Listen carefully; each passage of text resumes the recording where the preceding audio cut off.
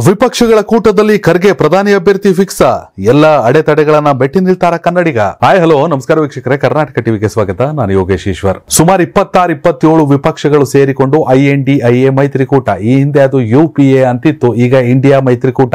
N D A ವಿರುದ್ಧ BJP ವಿರುದ್ಧ, ಪ್ರಧಾನಿ ಮೋದಿ ಅವರ ವಿರುದ್ಧ, ಪ್ರಧಾನಿ ಮೋದಿ ಅವರ ಹ್ಯಾಟ್ರಿಕ್ ಗೆಲುವಿಗೆ ಬ್ರೇಕ್ ಅನ್ನ ಹಾಕಬೇಕು ಅಂತ ಪಣವನ್ನ ತೊಟ್ಟಿದ್ದಾರೆ. ಅದಾಗಲೇ ಮೇಲಿನ ಮೇಲೆ ಸಭೆಗಳು ಕೂಡ ಆಯಿತು. ಕರ್ನಾಟಕ ವಿಧಾನಸಭಾ ಚುನಾವಣೆಯ ಭರ್ಜರಿ ಫಲಿತಾಂಶವೇ ಈ my after exams everybody asks us only one question How much did you score? What is your percentage? They ask us a hundred such questions. I always give only one answer. CBC exam scanner books. ಮೈತ್ರಿಕೂಟದ ಹುಟ್ಟಿಗೆ ಕಾರಣವೂ ಆಯಿತು ಆದರೆ ಪಂಚರಾಜ್ಯ ಚುನಾವಣೆಯಲ್ಲಿನ ನಿರಾಸೆ ಇವರುಗಳನ್ನು ಒಂದಷ್ಟು ಕುಗ್ಗುವಂತೆ ಮಾಡಿದೆ ಅಂದರೂ ತಪ್ಪಾಗೋದಿಲ್ಲ. ಆದರೆ ತೆಲಂಗಾಣದಂಥ ತೆಲಂಗಾಣದಲ್ಲಿ Congress strong ಕಂಬ್ಯಾಕನ್ನು ಮಾಡಿ ಗೆಲುವನ್ನು ದಾಖಲಿಸಿ ರೇವಂತ್ ರೆಡ್ಡಿ ಮುಖ್ಯಮಂತ್ರಿ ಆಗಿದ್ದಾರೆ.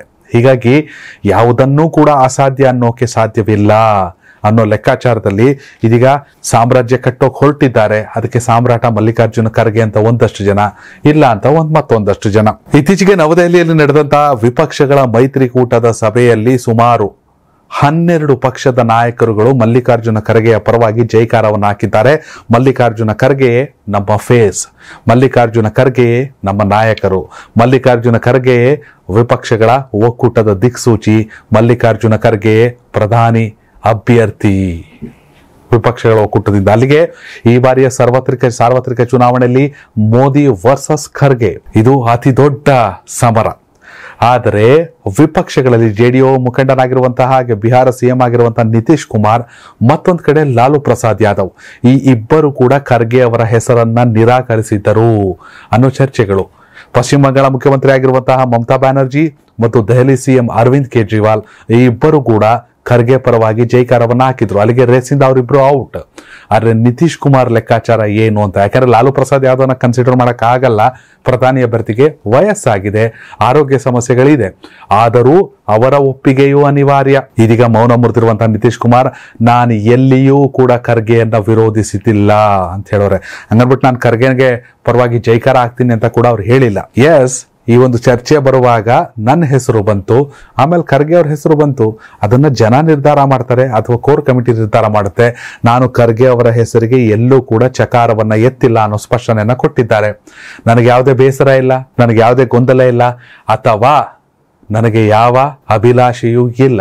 ಎನ್ ಡಿ ಎ ಮೈತ್ರಿಕೂಟವನ್ನ ಸೋಲಿಸಬೇಕು, ಬಿಜೆಪಿಯನ್ನು ಸೋಲಿಸಬೇಕು, ಪ್ರಧಾನಿ ಮೋದಿಯ ಹ್ಯಾಟ್ರಿಕ್ ಗೆಲುವಿಗೆ ಬ್ರೇಕನ್ನು ಹಾಕಬೇಕು ಅನ್ನೋದಷ್ಟೇ ನಮ್ಮ ಉದ್ದೇಶ ಅಂತ.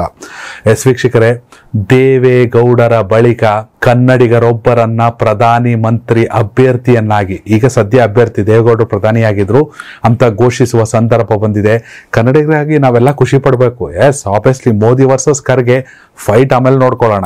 ಫೈಟ್ ಆಮೇಲೆ ಇದ್ದೇ ಇರುತ್ತೆ. ಜನ ಡಿಸೈಡ್ ಮಾಡ್ತಾರೆ. ಮೋದಿ ಬೇಕು ಅಂದ್ರೆ ಮೋದಿನ ಮತ್ತೆ ಗೆಲ್ಲಿಸ್ತಾರೆ.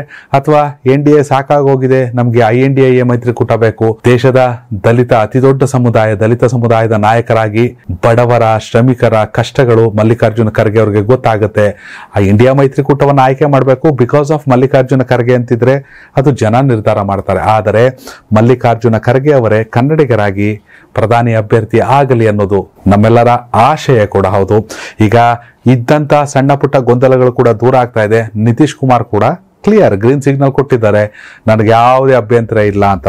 ಹೀಗಾಗಿ ಮಲ್ಲಿಕಾರ್ಜುನ ಖರ್ಗೆ ಅವರ ಪರವಾಗಿ ಎಲ್ಲರೂ ಕೂಡ ಪ್ರಧಾನಿ ಅಭ್ಯರ್ಥಿ ಆಗಲಿ ಅಂತ ಆಶಿಸೋಣ. ವಿಡಿಯೋ ಬಗ್ಗೆ ನಿಮ್ಮ ಅಭಿಪ್ರಾಯ ಕಾಮೆಂಟ್ ಮಾಡಿ. ಧನ್ಯವಾದಗಳು. ಈ ಭೂಮಿ ಮೇಲೆ ತಾನಷ್ಟೇ ಉದ್ಧಾರ ಆದ್ರೆ ಸಾಕು, ಬೇರೆಯವ್ರನ್ನ ಬೆಳೆಸೋ ಉಸಾಬರಿ ನಮ್ಗ್ಯಾಕೆ ಅನ್ನೋರ್ ಸಂಖ್ಯೆನೇ ಜಾಸ್ತಿ. ಆದ್ರೆ ಕೆಲವರು ಮಾತ್ರ ತಾನು ಬೆಳೆಯೋದ್ರ ಜೊತೆಗೆ ತನ್ನವರನ್ನು ಕೂಡ ಬೆಳೆಸ್ತಾರೆ.